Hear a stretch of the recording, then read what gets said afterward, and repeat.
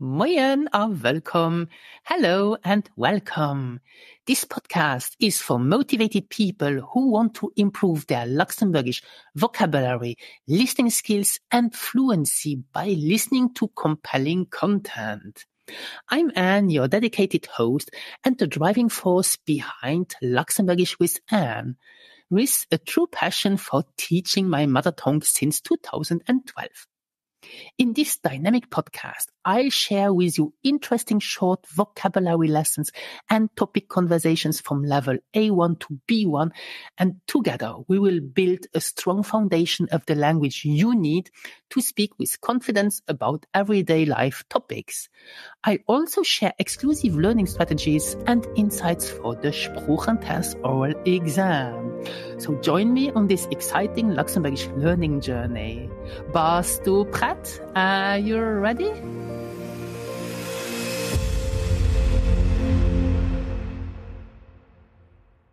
Moien, hi Stan von Luxembourgish with Anne. And today I will talk about how you can practice and improve your listening comprehension skills for the Sproochentest, so the language test to acquire Luxembourgish citizenship. And to be ready to take the listening comprehension part of the Sproochentest, you must practice listening properly. Hmm? So many people believe that um, good practice means mock listening exam over and over again. But mm, in this episode, I will explain why doing only this isn't gonna help you. So, bist du prêt? Are you ready? Dann los. So, if you practice listening to Luxembourgish the right way for just, let's say, 20 or 30 minutes every day, you'll improve your listening score in the exam and your overall level of Luxembourgish as well. Now, the three methods I will share with you in this episode are the same methods I teach um, to my students that wanted to improve their listening comprehension. And these three methods are totally free, so you can do them at home with without any teacher. And I'm happy to share with you that the students who implemented some of these methods not only got a good score in the exam, but they were amazed about how quick they've improved their listening skills. So I hope that all these methods and um, yes, because they are more than tips, so they're really methods will help you eventually grow to be a more active listener, listener and enjoy listening to Luxembourgish. Let me tell you now why doing lots of practice tests is a bad idea. First, they are boring. As a neuro language coach, I can tell you that our brains like to do things that they enjoy. And if they are doing things that they find pleasurable, then our brains are going to be able to absorb that information and learn from it. We are human beings, and if we are doing something that is really boring, it is a very low likelihood that we are going to continue doing that thing consistently, right? What you need to be doing is doing a little bit of work every single day over a long period of time. So bear in mind that the listening test is level B1 and listening is a skill and you want to improve that skill. So just practicing is not actually going to help you improve, especially when it comes to the listening exam. So you might be doing test after test and spending a lot of time doing that, but see no improvement. Um, watch out. It's easy to fool yourself into believing to practice many tests work. And also you are not going to get any feedback because you are doing practice tests, but you are not learning from your mistakes. The only way to learn is for someone to help you with that. And I will show you a way that you can learn from your own mistakes without the need of a teacher. So here is the first way that help you improve your listening skills. This is listen for leisure. So you need to, to do something that you enjoy so that you will do it consistently. And if you are listening to things that you enjoy, then you are going to do this consistently. Now you can listen to podcasts, for example. I know that the radio channels, for example, RTL.lu uh, oder Eldo.lu oder 100,7.lu offer several podcasts, especially RTL.lu and Eldo.lu. So I will share the links in the show notes below. And then you can also watch to some videos. For example, on rtl.lu is the Anne's Kitchen if you like to cook. And there are also some stories about uh, reasons, so traveling if you like to travel, or as well on these radio channels. Now, apart from real people, all these are in the palm of your hand, so they are on your phone. You can listen to podcasts, interesting stories, to the radio whenever you have time and everywhere. Now, I have dealt with students who are interested in, in cookery programs, for example. So I recommended listening to a cookery podcast or video series. As I said today, is the Anne's Kitchen on RTL.lu, which is really great. Or I had students who are interested into sports, so they should listen to sport matches on the radio or TV and the commentator discussing a, a match. Yes. So it doesn't matter what you are into, there's something for you. And also, the great thing about having everything on your phone is um, that you can do it at any time. For example, those 30 minutes on the bus or train on the way to work, or maybe 20 minutes during your lunch break. So there are unlimited options and there are many opportunities for you to practice that. And if you have the chance to be around native Luxembourgish speakers, listen to them as well. Now, none of these, except the broadcasts, are Sproochentest related, but remember, they are not testing your ability to answer their questions, but they are testing your ability to understand spoken language, right?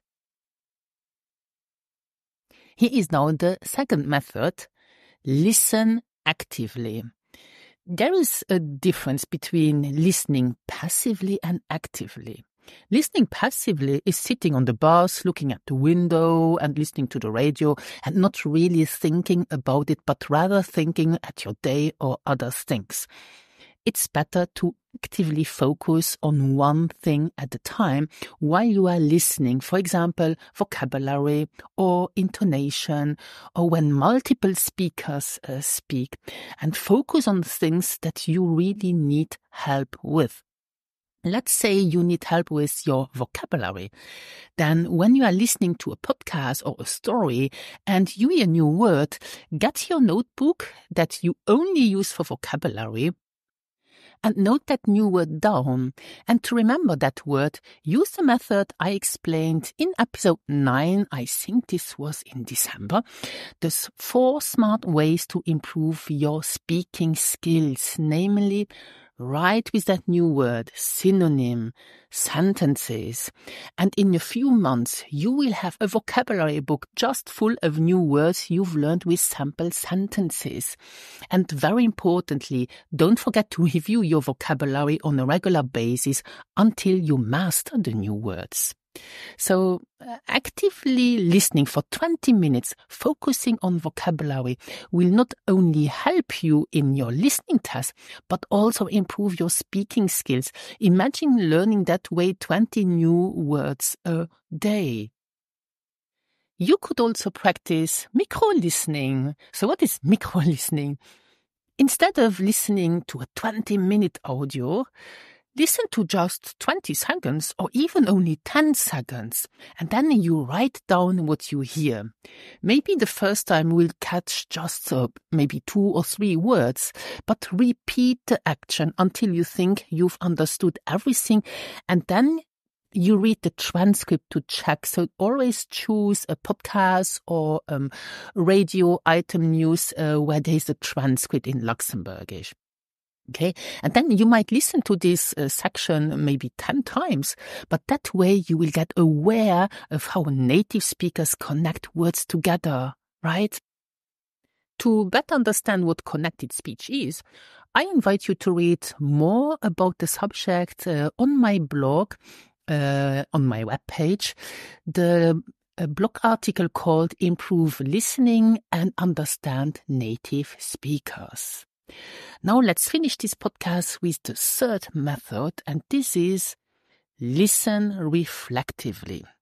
So this is probably the most important one in terms of improving your Sproochentest score. This is when you do practice tests.